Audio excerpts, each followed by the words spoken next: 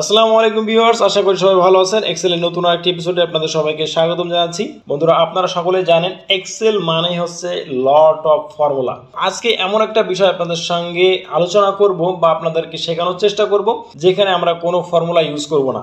এবং ফর্মুলা ছাড়া যে এত কাজ করা যায় একটি কিবোর্ড শর্টকাটের মাধ্যমে, তা হয়তো আপনার জানা ছিল না। তো চলুন শুরু করা যাক। শুরু করার আগে একটি রিকোয়েস্ট যদি আপনি আমার চ্যানেলে নতুন দর্শক হয়ে থাকেন তাহলে প্লিজ চ্যানেলটি সাবস্ক্রাইব করবেন এবং পাশে থাকা বেল বাটনটি অন করে দিবেন। প্রথমে আমরা শুরু করব আসলে এই কাজটি আমরা ম্যাক্সিমাম লোকে ফর্মুলা দিয়ে জানি। তো এই ফর্মুলা দিয়ে আমরা কাজটাকে করে দেখব। বন্ধুরা, মনে করুন আপনার বস আপনাকে একটি ডাটা দিল। যে ডাটাতে অনেকগুলো নাম আছে। নাম থাকতে পারে, সংখ্যা থাকতে পারে ডেট থাকতে পারে এভরিথিং যাই হোক, আমি আস্তে আস্তে সবগুলোই দেখাবো। তো মনে করুন, এখানে first name last name middle name এরকম ভাবে একটি ডাটা দেওয়া আছে। তো বলল আপনাকে এই ডাটাটাকে অ্যাকোমোডেট করার জন্য, অর্থাৎ এখানে একটা ফুল নেম তৈরি করার জন্য। জেনারেলি আমরা যেটা করে থাকি, সেখান থেকে আমরা একটা কনক্যাট নেটের যে ফর্মুলা আছে সেই ফর্মুলাটা আমরা ইউজ করে থাকি। ফর্মুলাটি হলো concatenate equal to C O N already দেখেন কনক্যাট নেট চলে আসছে ট্যাব বাটন প্রেস করলাম, চলে আসলো ফর্মুলা এখন ফর্মুলা বলছে text text one text one যদি আমি আগে এটাকে নিতে চাই, তাহলে আমি আগে এটাকে সিলেক্ট করব। অথবা যদি প্রথমে আমি এটাকে নিতে চাই, তাহলে আমি এটাকে সিলেক্ট করব। অর্থাৎ ফার্স্ট নেম টেক্সট ওয়ান আমার কোনটা থাকবে, সেটিকে আমার সিলেক্ট করে দিতে হবে। তো দিয়ে দিলাম এটিকে সিলেক্ট করে, এরপর একটা কমা দিয়ে দিলাম, দেখেন ফর্মুলাই বলে দিচ্ছে কমা দিয়ে দিলাম। দেওয়ার পরে দেখেন এটি কিন্তু এখন ফিক্স হয়ে গেছে। এরপরে বলছে টেক্সট টু তো আমি টেক্সট টুতে আমি এটিকে নিতে চাচ্ছি তো আমি এটিকে টেক্সট টু দিয়ে দিলাম। দেওয়ার পরে এখানেও একটি কমা দিয়ে দিলাম। দেওয়ার পরে এখন বলছে টেক্সট থ্রি তো যেহেতু আমার এখানে আর কোনো টেক্সট নাই, আমি এখানটাতে আমি ইন্টার বাটন প্রেস করে দিলাম। আপনি ব্র্যাকেট ক্লোজ করতেও পারেন, নাও করতে পারেন। তো দেখেন, এখানে কিন্তু আমার নামটা ফুল নেম হয়েছে বাট মাঝখানে কিন্তু কোনো স্পেস নাই। তো মাঝখানে স্পেসের জন্য আমরা কি করব এখানে?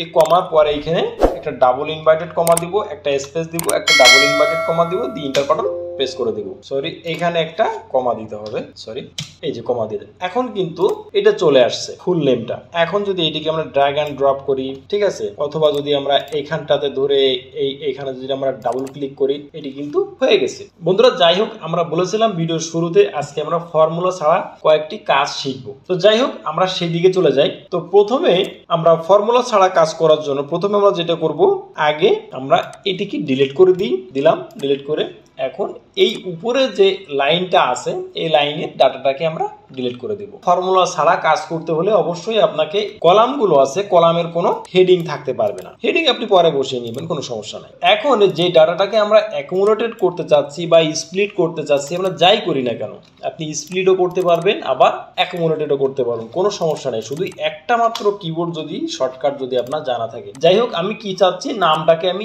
এইভাবে সাজাতে চাচ্ছি। জাস্ট প্রথম, প্রথমে থাকবে ফার্স্ট নেম তারপরে থাকবে লাস্ট নেম তো এখন এটি সাজালাম, সাজানোর পরে আমি জাস্ট এর পরবর্তী যে সেল আছে, এই সেলে আমি কাটচারটি রাখব। আমি রেখে দিলাম। দেওয়ার পরে এখন কিবোর্ড থেকে কন্ট্রোল প্লাস ই অর্থাৎ কন্ট্রোল চেপে ধরে আমি ই বাটন প্রেস করলাম। দেখেন, কোনো ফর্মুলা নাই, কিছু নাই, আমার সব ডাটা কিন্তু এক নিমিষেই কিন্তু হয়ে গেছে। যদি আপনার এখানে পাঁচ হাজার ডাটা থাকতো, একবারেই কিন্তু হয়ে যেত। এখন যদি মনে করেন, এই ডাটাটাকে আপনি উল্টে সাজাতে চাচ্ছেন, অর্থাৎ এই হোসেনটাকে আপনি আগে দিবেন, এই আশিকটাকে আপনি পরে দিবেন। সো কোনো সমস্যা নাই। এখান থেকে আপনি এটিকে কপি করুন, অথবা আপনি হাতেও টাইপ করতে পারেন। এই যে এখান থেকে আমি প্রথমে রাখব কি? হোসেন। এবং পরে রাখব আমি আশি ঠিক আছে? এটিকে দেওয়ার পরে আমি এখন ঠিক সেম ভাবে এখানে আমি কাটসার পয়েন্টে রাখব। রাখার পরে control plus E button press করলাম। দেখেন সবগুলা কিন্তু এখন উল্টে গেছে। দেখেন প্রত্যেকটা নাম কিন্তু এখন উল্টে গেছে।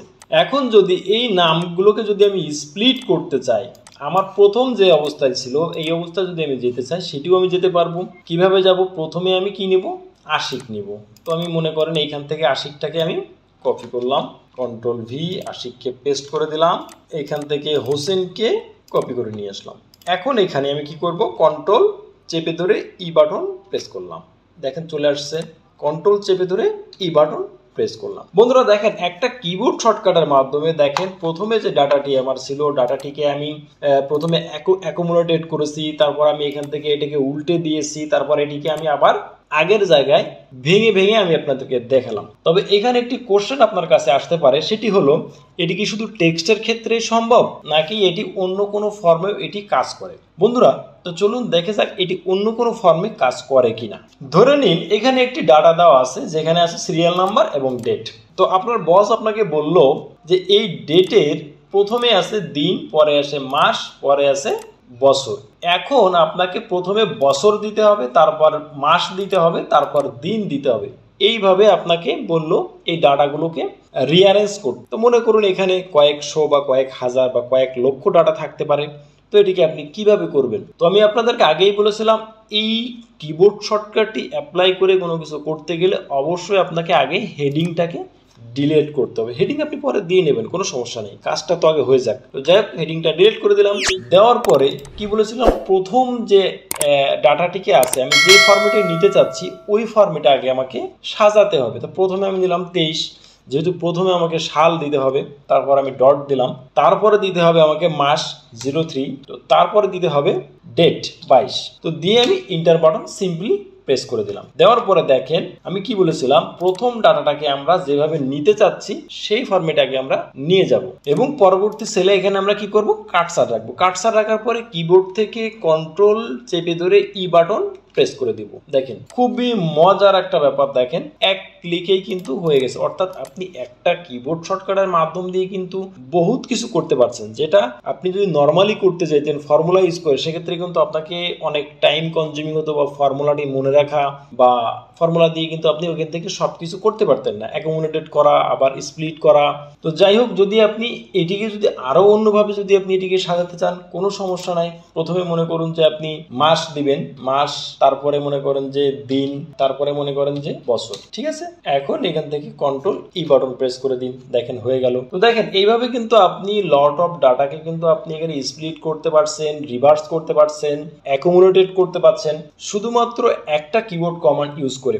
আচ্ছা বন্ধুরা, এবার আপনাদের কাছে প্রশ্ন আসতে পারে, এটি তো আমরা টেক্সটের ক্ষেত্রে দেখলাম, ডেটের ক্ষেত্রে দেখলাম, আর কোনোভাবে এটিকে ইউজ করা যায় কিনা? হ্যাঁ বন্ধুরা, আরও অনেকভাবে এটি ইউজ করা যায়। আপনার প্রয়োজন অনুযায়ী আপনি এটিকে ইউজ করতে পারবেন। তো চলুন আরও কিছু ট্রিক্স আমরা দেখে নিই। মনে করুন এরকম একটি ডাটা দেওয়া আছে, যেখানে সিরিয়াল নাম্বার আছে ইয়ার আছে। তো এই ইয়ারটাকে আপনি ভেঙে স্প্লিট করতে চাচ্ছেন, ঠিক আছে? প্রথমে শর্ত অনুযায়ী প্রথমে আমরা এটিকে ডিলিট করে দিলাম। দেওয়ার পরে এখানে আমি উনিশটাকে আমি আগে রাখব, আর এই পরের দুই ডিজিটকে আমি পরে রাখলাম। অর্থাৎ প্রথম যে ডিজিট আপনার আছে, প্রথম যে দুইটা ডিজিট আছে, ওই দুইটা ডিজিটকে আপনি একসাথে রাখলেন, পরের দুইটাকে একসাথে রাখলেন। এখানে যদি আপনার আরও অনেক ডিজিট থাকে, সেটাও আপনি এরকম রাখতে পারবেন, কোনো সমস্যা নাই। বন্ধুরা, পরবর্তী শর্ত অনুযায়ী, পরবর্তী পরবর্তীতে আমরা যেটা করব, এর ঠিক নিচের যে সেল আছে, এই সেলের ভিতরে আমরা এখানে কাটসার পয়েন্টটি রাখব। রেখে কিবোর্ড থেকে কন্ট্রোল ই বাটন প্রেস করে দিলাম। এরপরে আমরা এখানে কাটসার পয়েন্টটি রেখে এখান থেকে আমরা কিবোর্ড থেকে কন্ট্রোল চেপে ধরে ই বাটন প্রেস করলাম। দেখেন, প্রত্যেকটার কিন্তু ওয়ান নাইন ওয়ান নাইন অর্থাৎ প্রথম দুইটা ডিজিট কিন্তু আলাদা হয়ে গেছে এবং পরবর্তী দুইটা ডিজিট কিন্তু আলাদা হয়ে গেছে। এখন যদি মনে করেন যে না, আপনি এই ডিজিটগুলোকে সামনের দিকে নিতে চাচ্ছেন আর এই ডিজিটগুলোকে আপনি পরে দিতে চাচ্ছেন, কোনো সমস্যা নাই। প্রথমে লিখুন এইট নাইন ওয়ান নাইন এবার ঠিক আগের মতোই কন্ট্রোল চেপে ধরে ই বাটন প্রেস করলাম। এই যে চলে এলো। খুবই মজার একটা ব্যাপার। এখন হয়তো আপনারা মনে করতে পারেন, আসলে এটি কি শুধুমাত্র সালের ক্ষেত্রে ডেটের ক্ষেত্রে বা টেক্সটের ক্ষেত্রে প্রযোজ্য? এটিকে আপনারা যে কোনো অ্যামাউন্টের ক্ষেত্রেও কিন্তু আপনারা এটি প্রয়োগ করতে পারেন। তো দেখেন, এইখানে এই যে প্রথমে আমরা শর্ত মতে এটিকে আগে আমরা ডিলেট করে দিলাম, সিরিয়ালটাকেও আমরা ডিলেট করে দিলাম, ঠিক আছে? তো মনে করুন, এইগুলা কোনো একটি সংখ্যা, ঠিক আছে? এখানে আমি আরও কিছু সংখ্যা এর পিছনে দিয়ে দিলাম, জাস্ট এগুলো মনে করেন জাস্ট কোনো একটা অ্যামাউন্ট, এটি এখন আর সাল নাই, ঠিক আছে?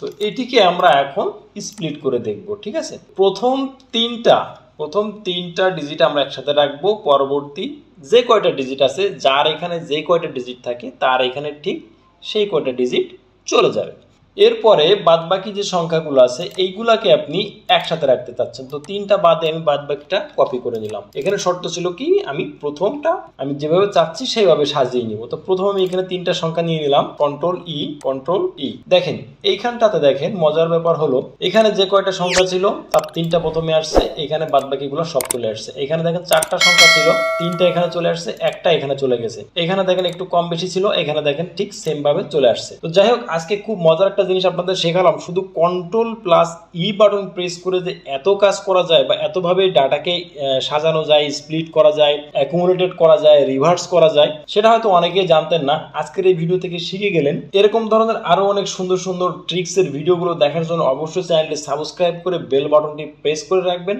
তো ভালো থাকবেন সবাই। আল্লাহ হাফেজ। আসসালামু আলাইকুম। আহমতুল্লাহি ওবরাকাতু